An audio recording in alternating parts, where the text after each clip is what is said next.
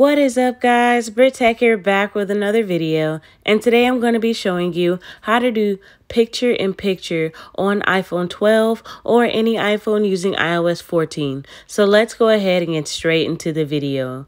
Okay guys, so what you need to do is go ahead and go to your settings and then you're going to go ahead and scroll down to general and select it and then select picture in picture. And right here, as you can see, it says start PIP automatically. And it says when you swipe up to go home or use other apps, videos and FaceTime calls will automatically continue in picture in picture.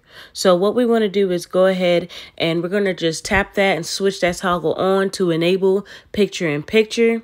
And now I'm just going to demonstrate to you guys what this actually looks like when you enable it. So let's go ahead and get out of this.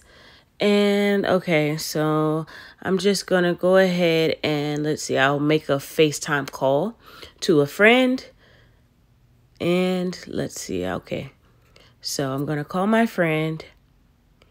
And then let's see if it picks up.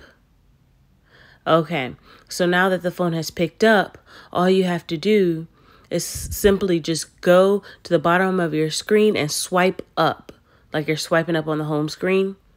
And as you can see, picture in picture is enabled. So I can do other things while still on the FaceTime call with my friend. And you can even move the picture around and I'll be able to see what my friend is doing while doing other tasks. And they can still see me as well.